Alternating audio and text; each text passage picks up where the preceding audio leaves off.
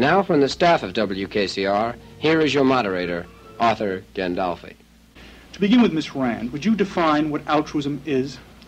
Altruism is an ethical system which claims that man has no right to exist for his own sake, that the sole justification of his existence is the service he renders to others, and that self-sacrifice is his basic virtue, value, and duty. Altruism regards man in effect as a sacrificial animal. The word is coined by Auguste Comte in the 19th century to mean specifically the placing of the interests of others above your own. I wonder if you would discuss why to be altruistic and to be benevolent is not the same.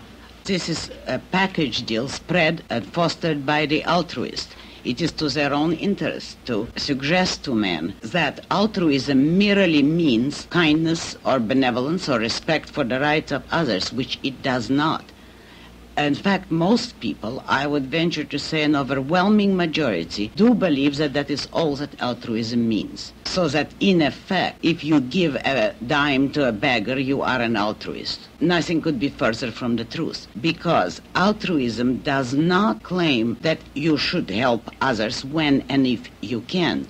It specifically claims that you should subordinate your own interests to the interests of others and therefore others should take first place in your life as a moral duty. In that case, kindness is impossible. If it is your duty to give away your last penny to anyone who might need it, you are giving him his due. In fact, altruists would say it is his right to demand your penny. Therefore, it's not an action of kindness or generosity or charity on your part. It is a moral duty.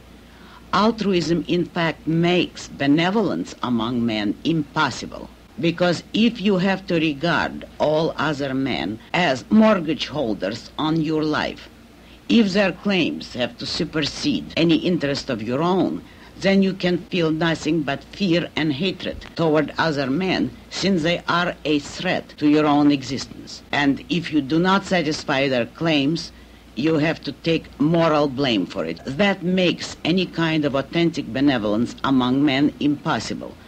It entails other contradictions. There is no reason why you should consider the benefit of others as a value if you do not consider your own benefit a value.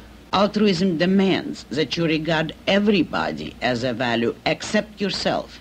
And remember that this applies to every human being. Therefore, according to an altruist, no human being has any right to any value nor to any happiness of his own. He only has the right and duty to serve others. Therefore, altruism does regard men as sacrificial animals, as object of sacrifice for others. That is not a theory of benevolence for men.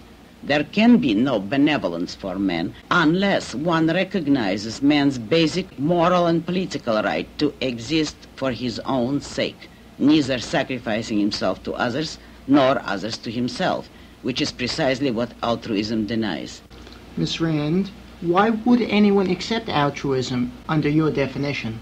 Most people do not have a consistent moral theory to guide them, a theory which they understand, accept, and fully practice. But the reasons why they accept altruism are many.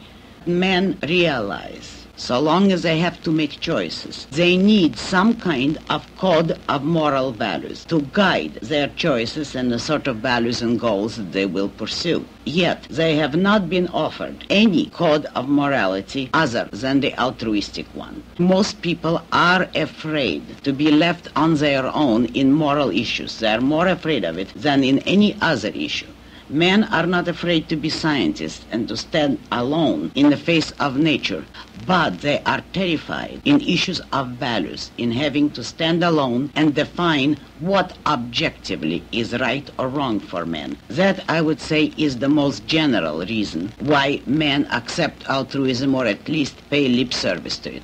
One common variant of altruism is the belief that you should give only to those who are less better off than yourself, those who are in need. Your remark is correct. That is what altruism holds. And the result of it is that it makes need, pain, failure, disaster the leading purpose and value in life. In other words, it amounts to the following situation, which you can see politically coming through today. If a man fails for any reason, his own fault or through accidents, gives him a mortgage on the lives, the earnings, the property, the services of those who have not failed. And therefore the result is a hierarchy of values of which the zero is the dominant standard. To the extent to which you lack any value at all, personal, spiritual, or material, you have a claim on your betters. To the extent to which a man has achieved values, he is the sacrificial animal for any zero holder.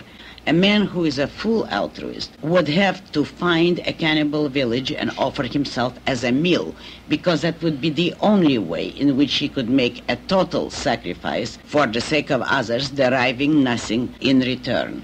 A total altruist is in a contradiction every time he eats because that morsel of food may be needed by someone else because the altruists get out of it by saying that you should reserve for yourself only the minimum necessary in order to go on serving others. But that in itself is a contradiction. What is that minimum necessary? And the main issue is why should the needs of others have primacy over your own? This question has never been answered by any philosopher of ethics. The sole base of altruism has always been mystical the issue of self-sacrifice to others has to be taken on faith because no rational justification for it has ever been offered nor can it ever be offered. Is it fair to say that an altruist would have to replace his own values by the values held by other people? And, and if this was followed generally, that there would be nobody able to hold a value of his own? Yes, of course. Just as you must sacrifice your material possessions or your effort to others, you must also sacrifice your intellectual integrity. If you hold to your own ideas of what you believe is true, that is a selfish action. You must sacrifice your mind to what others believe or want to be true. Therefore, you must always agree with the majority in all issues because it is selfish to hold out for no better ground than the conclusion of your own mind. That, of course, is the basic evil of altruism. It does demand the sacrifice of your mind.